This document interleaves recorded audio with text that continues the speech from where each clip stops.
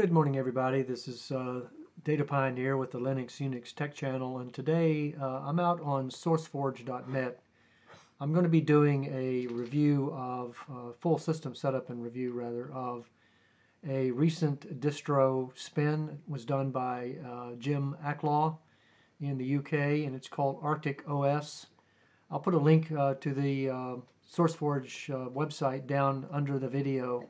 Um, because uh, Arctic OS, it's really Arctic Zero S. Um, I found out that the link is not an O but an, a zero. So I don't know if that was an error or intentional, but uh, anyway, uh, here's the website, and I'm out on it. Uh, it looks like a very popular um, distro. Got 3,751 uh, downloads this week.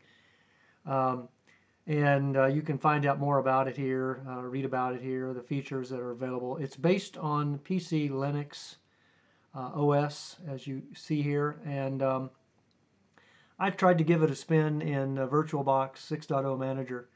Uh, I will tell you that, uh, and the reason I'm bringing you this uh, um, review is also to alert folks who are running VirtualBox 6.0 Manager that the distro will not load properly uh, to be tested in VirtualBox 6.0 and I found a way to do it so I'm going to be bringing that up in my video as well. Uh, good mate of mine in Australia uh, by the name of Backyard Tech has already done a, uh, a review of Arctic OS for Jim and he used uh, ESXi server uh, VMware. Um, he didn't run into the same problem I did where it wouldn't load or wouldn't launch but he did run into an issue where he could not get it to come up in the 1920 by 1080 full screen or widescreen resolution, 16 by 9 um, aspect ratio, and he could not get um, VMware or VM tools installed in the operating system. He was unsuccessful in doing that. So I'm going to bring uh, this particular review to you today um, to point out a few things, um, to tell you what I do like about it, what I don't like about the distro, and so if you want to join me, uh, let's get into it. Let's look at Arctic OS from Jim Acklaw in the UK based on PC Linux OS. Let's get into it. Okay, I'm on my virtual machine 6.0 manager. I'm going to click machine and new. I'm going to call this thing PC Linux OS even though it is based on the Arctic OS KDE Plasma 2019 from Jim Acklaw uh, on SourceForge. Uh, doesn't really matter what you call it. Uh, so I'll just give it that name. Um, I'm going to give this thing um, 4096 megabytes of RAM. It's based on 4.x Linux 64-bit. And then click Create. I'm uh, going to give this thing 75 gigabytes of VDI uh, dynamically allocated hard drive space. Click Create. Now let's go up to Settings. And in settings here, I'm going to click System and untick floppy, select hard disk and move it up the boot order. For display, I'm going to give this thing a full 128 megabytes of RAM, I mean of video memory. I'm going to move away from the VBox VGA, which I normally use, to VM SVGA, which is required here for VBox. And um, go ahead and select the optical disk media and select that Arctic OS Plasma 2019 ISO from Jim Acklaw. Click OK. I downloaded that earlier. For audio, I do want audio, so I'm taking the defaults here. For networking, I'm going to create a bridged adapter, and then for USB 3.0, and click OK. And uh, let's go ahead and get this thing started. I'm going to click Start, launch it, and uh, bring it up, and then I'll do the usual view and select um, the full screen mode. Now I had to move away from live CD and safe mode and video safe mode to install. It's the only way I could get uh, this particular distro to actually run in uh, virtual machine, uh, VirtualBox 6.0 Manager. Otherwise it fails on the X window. Um, Backyard Tech, a good mate of mine in Australia, uh, ran into a similar issue with VMware um, he could not bring it up to 1920 by 1080, and so he was never able to get VMware tools installed as well. So I was able to do that here with VirtualBox. All right, so we now are at the installer. Let's select US keyboard for me and click Next. And then uh, let's click Next here. And I'm going to go ahead and tell it to use the entire free space, do nothing fancy here, click next, and let it go ahead and launch. And uh, click next again. And it's starting to format the partition. Okay, so this is going to take a while, and so I'm going to stop the video at some point here and come back when it's completed.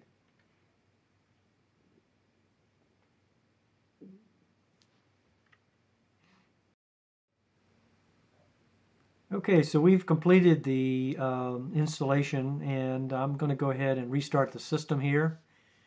Uh, Arctic OS KDE Plasma and um, comes up to this screen here uh, for the boot, boot menu and um, it isn't at the 1920 by 1080 yet but we should get that now that I've installed uh, VirtualBox guest additions I had to do that as well to get this thing to render into 1920 by 1080.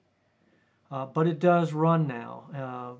Uh, as I said earlier, VirtualBox 6.0 Manager wouldn't run uh, until I made the changes that I made that I showed you earlier uh, in order to get it to come up. And then when it did come up, it did not render in the full 1920 by 1080. So I had to install VirtualBox Guest Additions. And, uh, and when I restarted the system, it did come up to full screen. I, am not going to put you through that. Um, you know how to do that. Um, I will show you the process, the link to it here when I get in.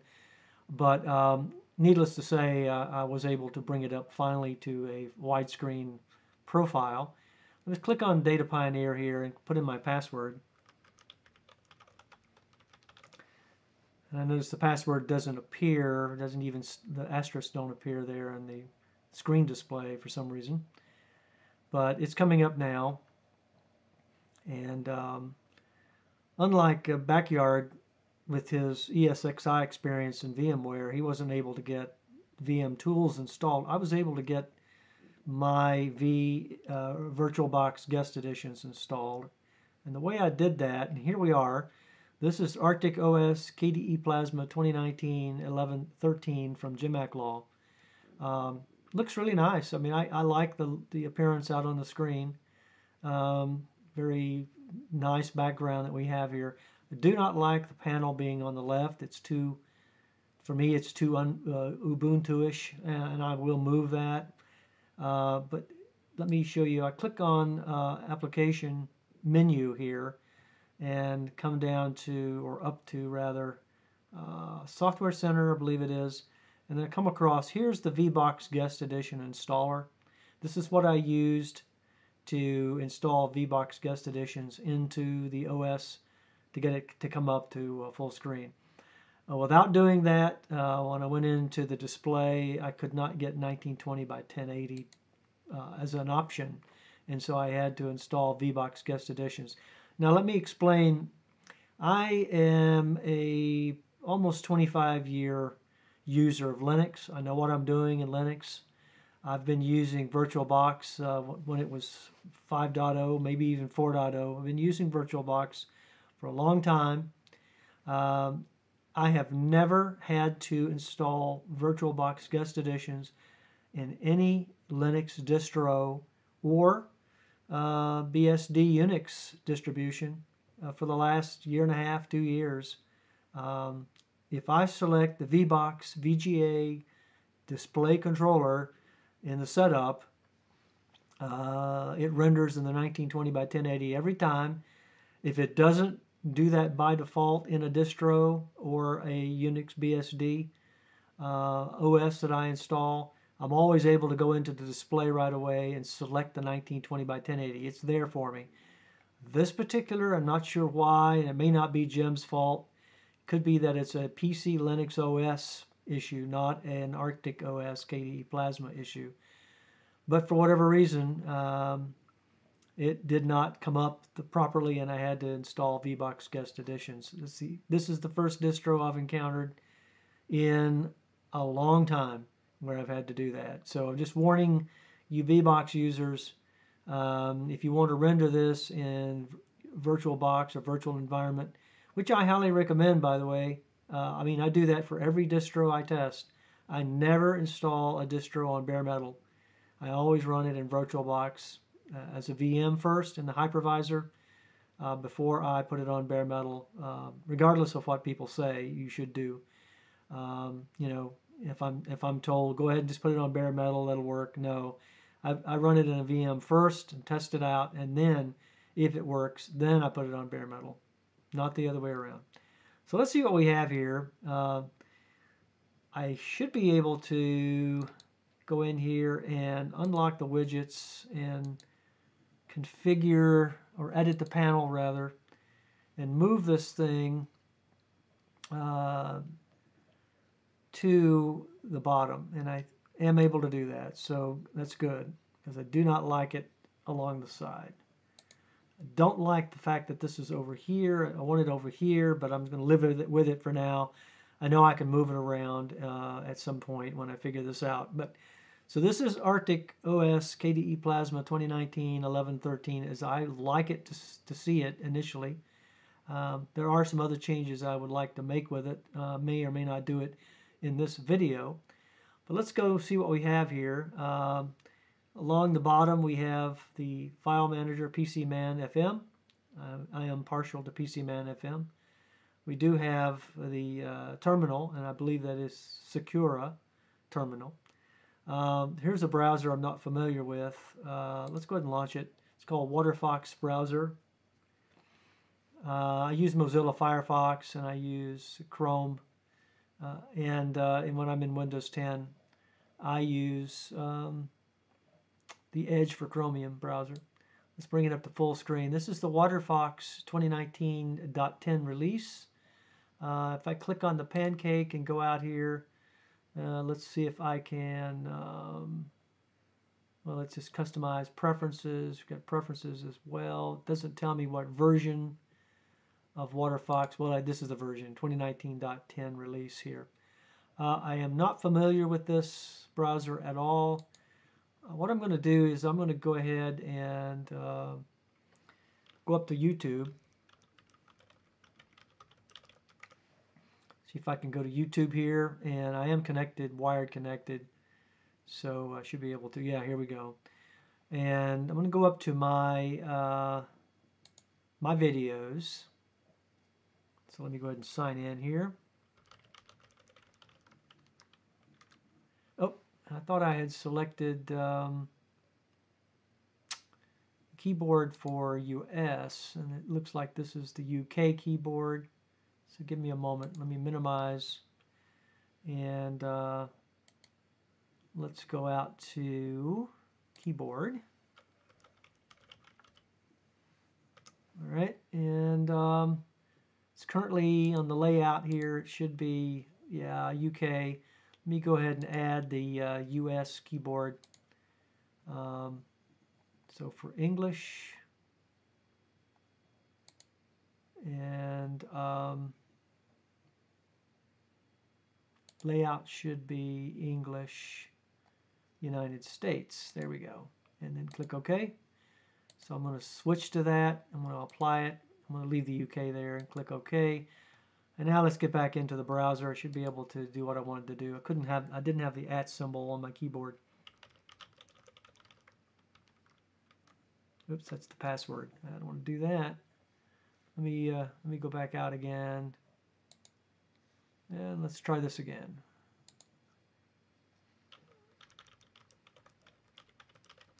Okay. I'm going to need to sign in, but now I should have access to the at symbol because my username is my email address at Gmail. So let me put that in. Why is it not working? Ah, um, let's see. Let me go back out here to keyboard. Thought I set it to US. Could have sworn I did that. Layout. I'm going to get rid of UK. Just remove it altogether. Now I've got US. Now I know it's there. I'm going to click OK. Let's try this again. At. There we go. Dan Calloway at gmail.com. Let's click next. Let me put in my password. Click next. I want to test the sound. That's what I'm doing here, guys. I want to see if I have sound capability within this operating system, this Linux distro. And to do that, I'm going to go to my video so there's not an issue with uh, copyright infringement. So let's click channel and go to my videos and let me select this one here. Let me bring this up to maximum. So I'm listening to the sound now, so I do have sound. That's great. And you should be able to hear it as well. If you don't, um, just trust me, you do have video or sound. Okay, so we have that okay. It looks fine. So this browser is not too bad. I mean, I do have sound capability. It is rendering the videos in my YouTube channel okay in, uh, in this particular Linux distro. So let me go ahead and close this, get back out to the desktop, and let's see what else we have here. Um, we have the um, Thunderbird mail client. I do not use that. I use web-based mail. Then we got the usual things over here on the right-hand side. I'm not going to go through all of these other than we do have a calendar. Today is the 21st of November. Um, and we do have sound, uh, audio volume of 45%. And um, this is our, I believe, yeah, wired Ethernet. Okay, so let me go ahead and quit that. All right, so let's go ahead and see what we have. Let me click the application launcher. Let's come up to more applications. And you've got the KSysGuard, you've got the Net Applet, you've got Sakura uh, terminal, and uh, I think that's what I mentioned. Now, right off the bat, this has got to change. I, I, do not like the uh, color combinations that uh, Jim Acklaw has used here. Don't know what he was thinking about. Um, it's just, for me, it's unusable. Um, so I will be changing this out. I'm not going to do it now, but uh, if I use this operating system at all long term, uh, I am going to have to uh, to change this out because I just can't live with this color combination. Uh, he may like it, and that's great, but I don't. All right, so you do have this. This is kind of kind of cool. You got uh, your OS, and it does show PC Linux OS, host of VirtualBox 1.2, which is what I'm in. The kernel we're using is 5.2.15 or dash PC LOS 1. I've been up for 10 minutes here. We've got 1801 packages RPM.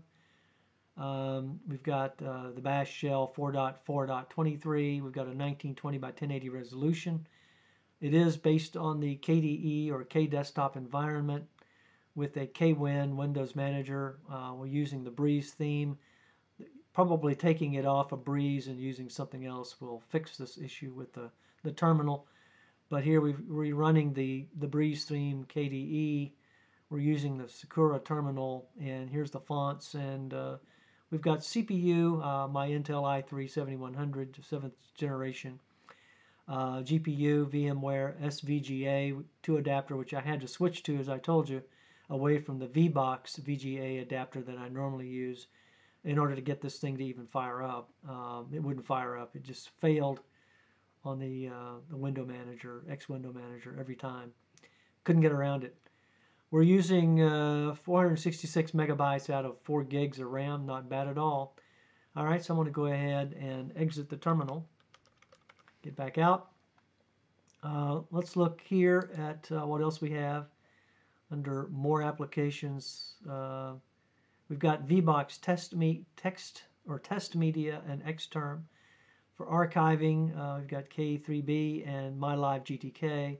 For configuration, you can configure your computer, uh, dconf editor disks, get PC Linux OS, uh, gparted, which is nice, uh, grub 2 splash. We've got the info center, we've got install Arctic OS Plasma uh, if you need to reinstall.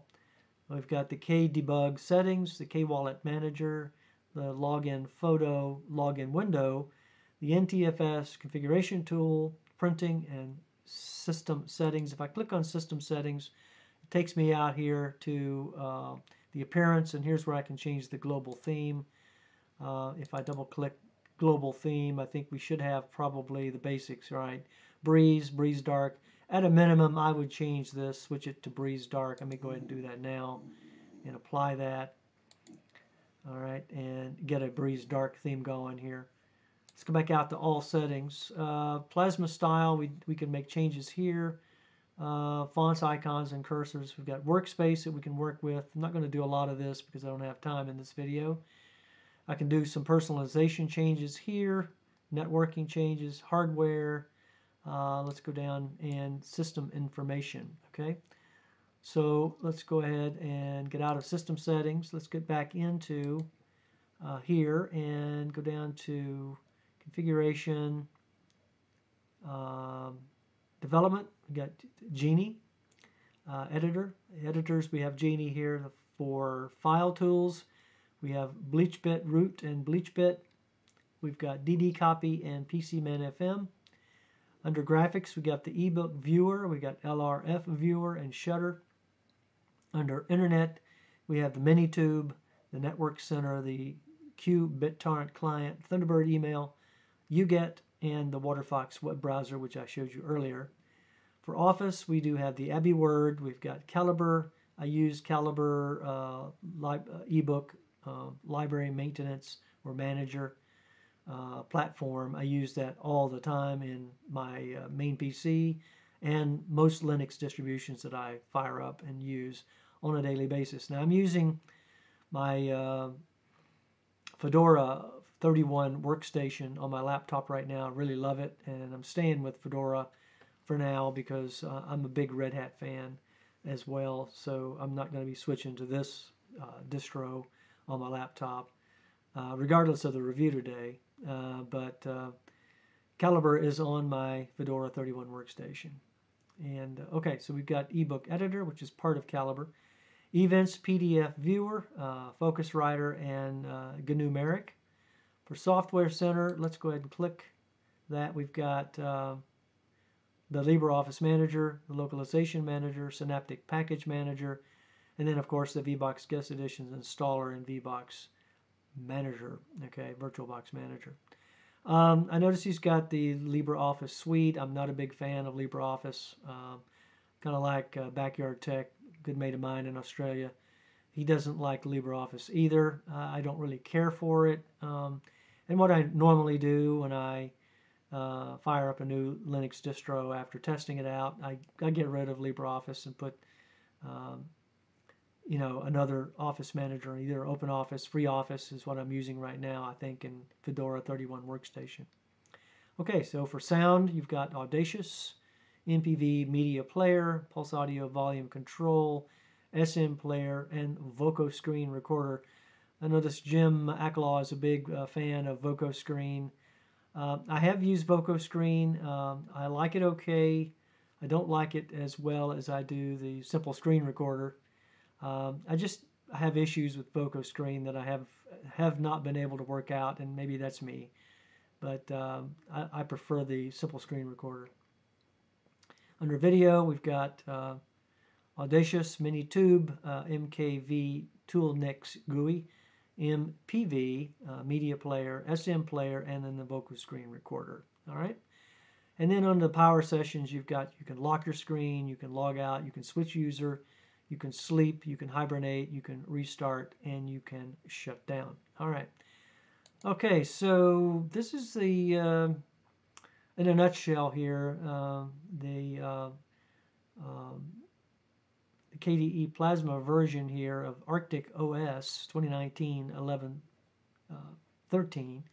Um, and we, we've taken a look at the basics here of uh, the operating system this the distro, and you know I have to admit it looks pretty good. Uh, now that I've got the dark theme going, it looks better.